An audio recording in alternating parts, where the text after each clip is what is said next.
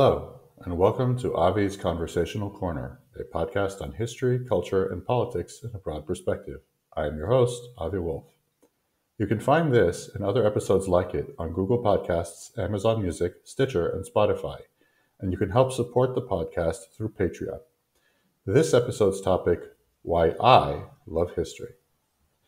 This podcast has now reached its 50th episode, and in honor of that, and in, with popular demand, I thought I might do something a little bit different. And instead of having the standard interview format where I talk to somebody else about their work or their ideas, I would do some, I would basically interview myself and try and talk, uh, tell audiences a little bit more about why it is I do what I do, why I love the subjects I cover so much, and perhaps to uh, establish the basis for uh, what I intend to do uh, moving forward. I apologize that this is my first time doing a full length uh, lecture episode, uh, so please uh, be gentle.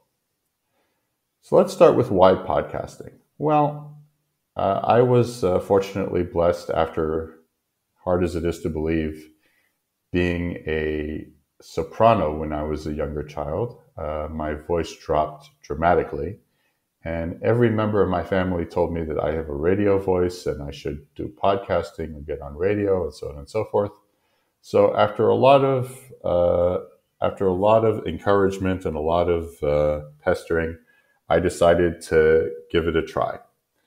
I also found when I started doing this, and as I continued doing this, that it is a very enjoyable endeavor because I get to choose and discuss things that I enjoy. Uh, I have complete control over the topics and the content. Uh, and I have something to focus on that is not doom scrolling through social media or work or other issues, but solely something that I love. But why history?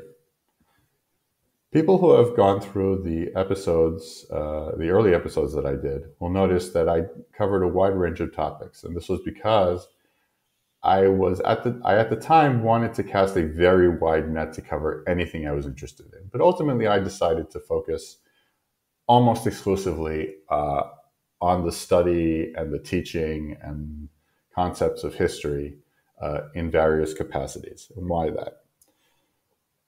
For starters, I am the son of a university professor, uh, uh, Professor Jeffrey Woolf, who got a doctorate in Jewish history at Harvard. So I come by it honestly. Although the truth is, is that uh, when I was a kid and I, when I was a teenager, I like history, but I also like things like science and other stuff. I really only caught the history bug as a late teenager when I became a massive, massive Civil War buff. And I would, uh, I still remember debating uh, pro union positions against pro Confederate people on uh, message boards and defending the honor of people like uh, General U.S. Grant against those who thought he was a, an incompetent butcher. Uh, and ever since then, I have voraciously read anything I can possibly get my hands on uh, on hit on the hit on the history of the human race in all sorts of capacities. Uh, scholarly articles, scholarly books. Uh, I love watching many of the the history channels on YouTube and the some of the old documentaries, many of which still hold up today. Um, and I love talking about these issues also on Twitter uh, with uh, many professors who love doing the same. So that's more or less why uh, this podcast, while it didn't start out that way, has effectively become uh, a history podcast. Of course, history that I am interested in and that I hope my listeners are interested in as well. What about my favorite period of history? This is going to sound trite or cliche, but it's true. My favorite period of history is whatever I'm studying at the moment. Uh, I have gone through periods. I was a Civil War buff. Uh, during the Second Intifada, I was very, I read an enormous amount on the Arab Israeli conflict. Uh, there was a period where I read a lot about the World War II Eastern Front, and I very much enjoyed, for instance, uh, the YouTube docudrama Soviet Storm, uh, which taught me a lot about uh, the ins and outs of that often misunderstood uh, period. Uh, I was a massive World War One um, buff and still very much consider it to be a very uh, fascinating era. During the centennial, the 100 years since the, the event occurred, because I felt that because a lot of people sort of dodge and avoid the uh, that event because unlike things like say World War II or the Civil War or stuff like that, it's not a simple morality tale or cannot e- cannot really easily be made as a simple morality tale of good guys versus bad guys. It's complicated. It's messy. Um, it can be it can be quite depressing, uh, but it nevertheless so profoundly affected the way we think in so many ways we often do not understand, and we often misunderstand uh, how and why those people thought and how why they did what they did. That I very much enjoyed studying the war, and I don't regret it for a second. Um, which brings me to the Gilded Age. Um, one other thing about my love of history is that I love studying periods, especially nowadays, that people tend to study a little less, like World War One, because they're messier, because they're more ambiguous, because it's not always clear who was in the right and who was in the wrong, but which nevertheless profoundly affected and affect the way we think, where many of the debates we have were started then and often uh, done better back then. Um, and indeed, I came to the conclusion, having seen all sorts of historical analogies made between our era and, say, the Civil War or the era of Reconstruction or the era of the Civil Rights Movement, I really think our era is a lot more like the Gilded Age. Not one to one, not a not a perfect um, analogy, but close enough. Consider the consider the parallels both involved an incredibly rapid amount of technological development.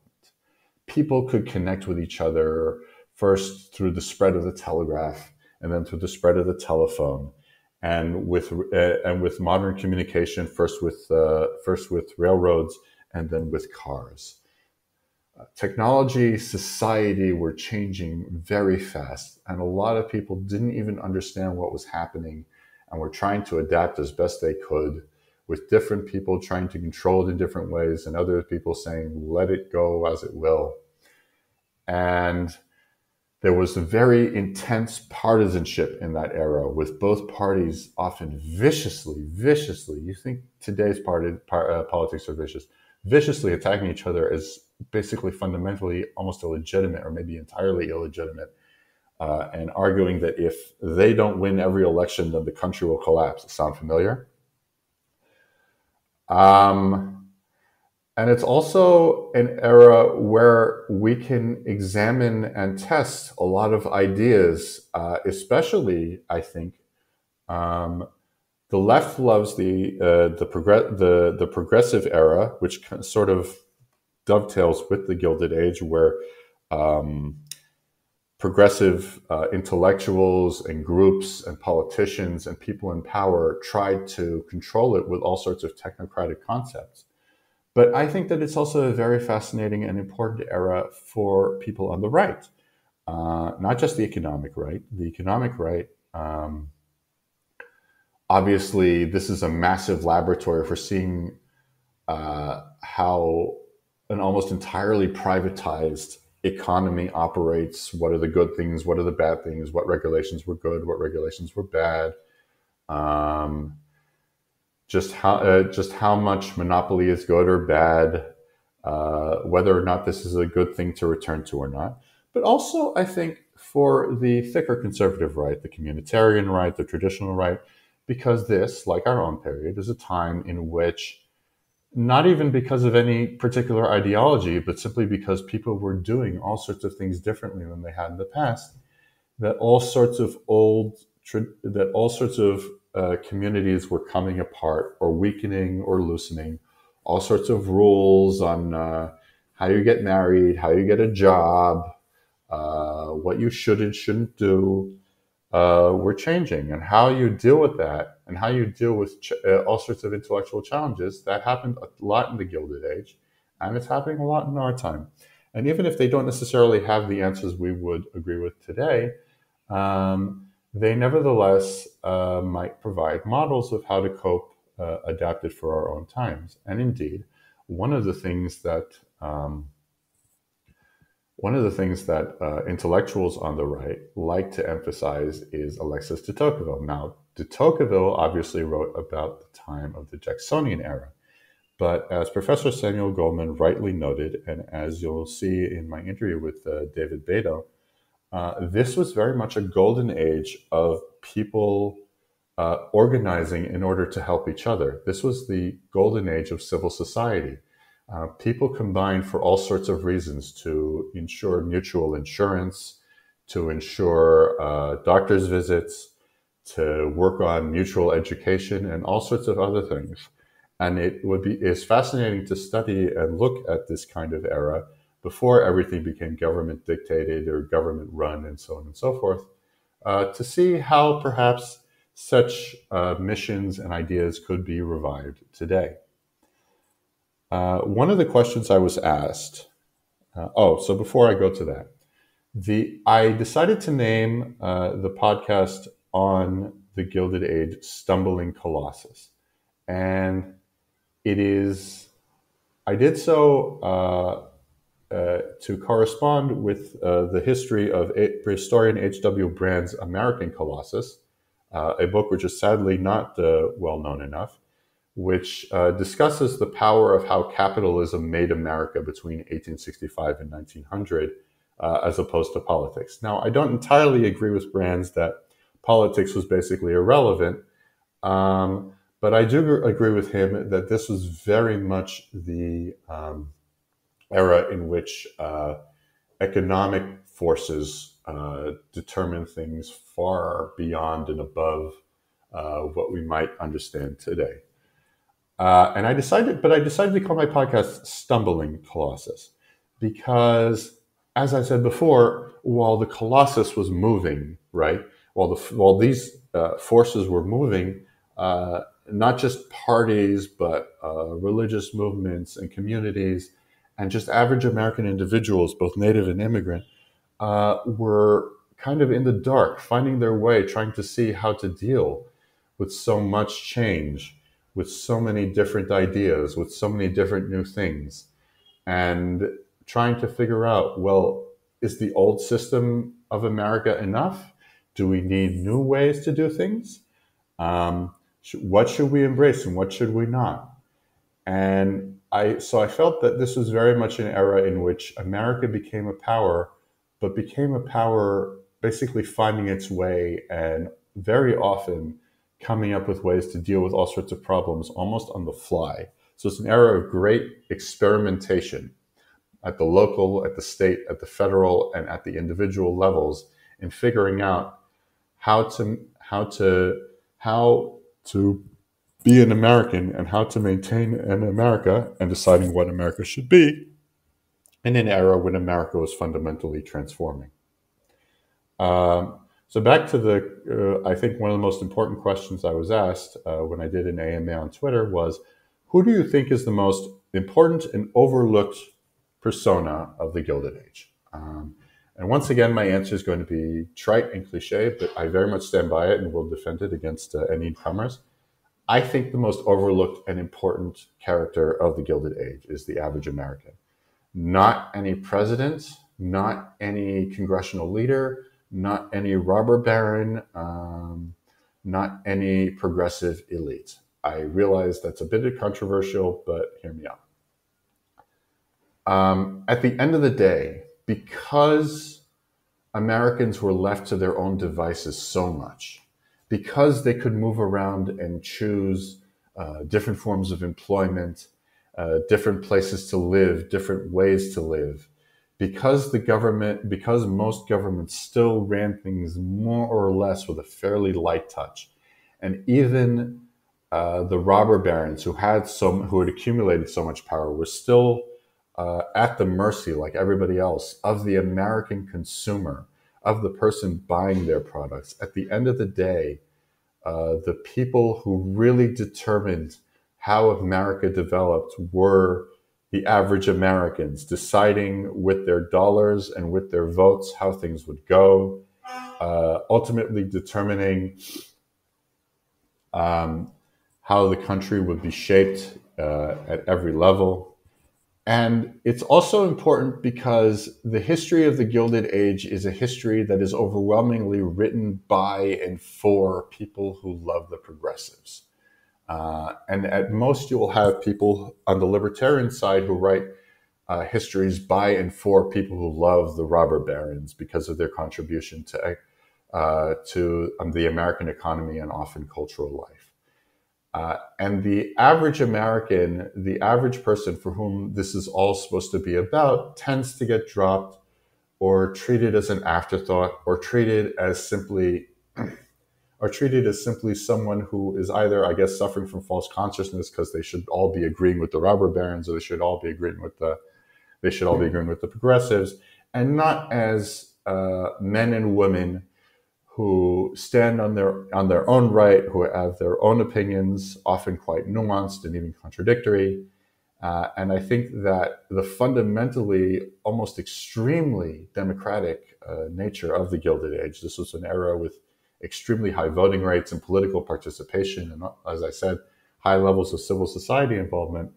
Uh, I think that they are the most important characters of the Gilded Age, and they're the ones I try to focus on the most. You will notice that I have not yet had a single episode devoted to any of the robber barons or the people who became incredibly wealthy through monopoly or mass based service. I intend to eventually do that but the omission is deliberate because they're not the story. They're a big part of the story, but they're not the main protagonist. For me, the main protagonist is the average American. And whatever lessons we learn for today, I want to be about learning lessons, not just for elites, whether economic uh, or intellectual or political, but first and foremost uh, for the average citizen.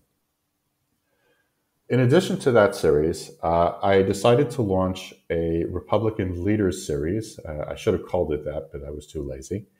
Um, where I interview uh, people about uh, important Republican congressional leaders, people like Everett Dirksen, Robert Taft, uh, and others uh, planned in Thomas Dewey, and others planned in the future, simply because um, I feel like a lot of conservative intellectual discourse and just right wing intellectual discourse in general is extremely, extremely president heavy.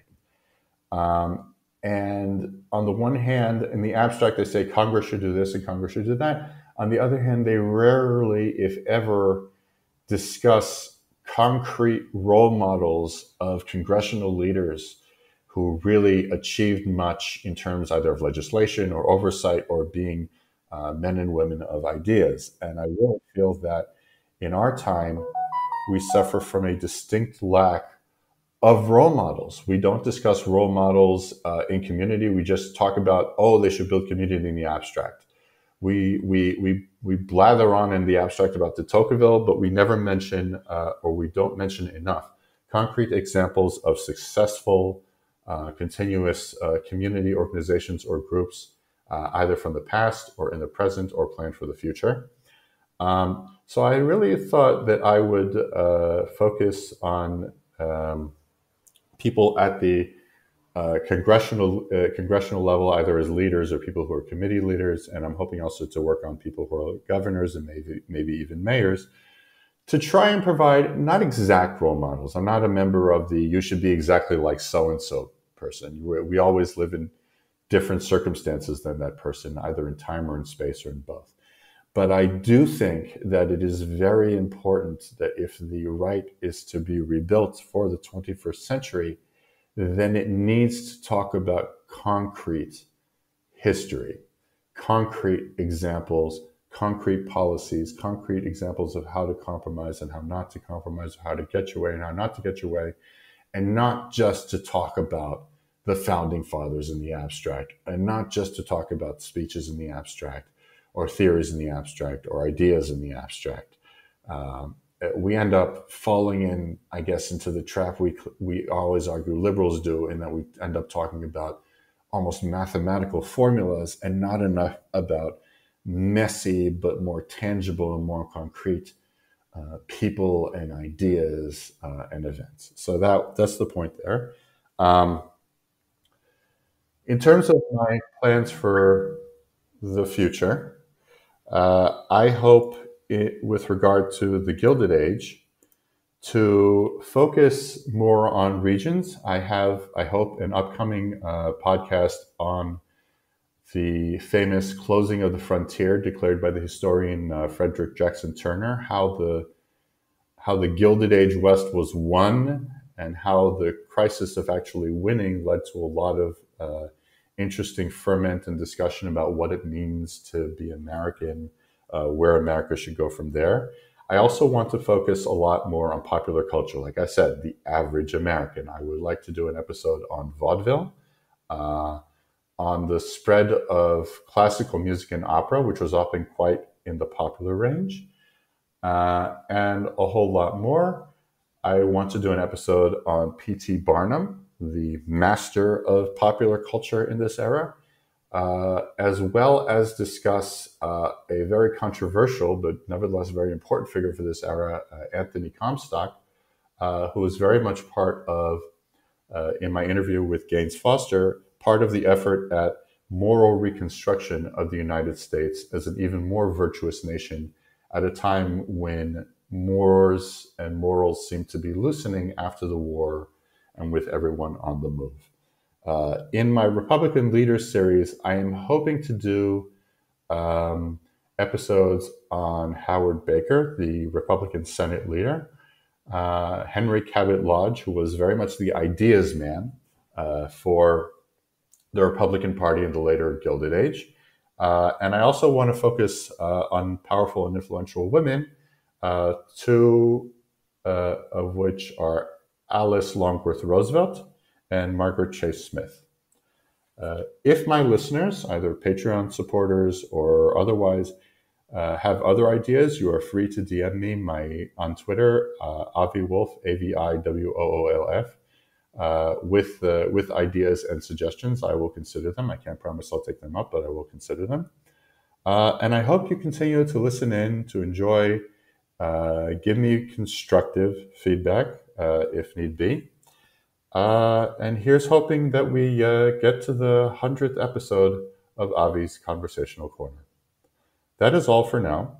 I would like to once again remind my listeners that you can listen to this podcast on Google Podcasts, Stitcher, Amazon Music, and Spotify. And you can support the podcast on Patreon uh, under the title Avi's Conversational Corner. Thank you very much.